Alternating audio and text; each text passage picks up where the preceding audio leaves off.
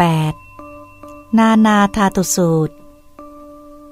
ว่าด้วยเหตุที่ทำให้รู้ชัดโลกที่มีท่าแตกต่างกัน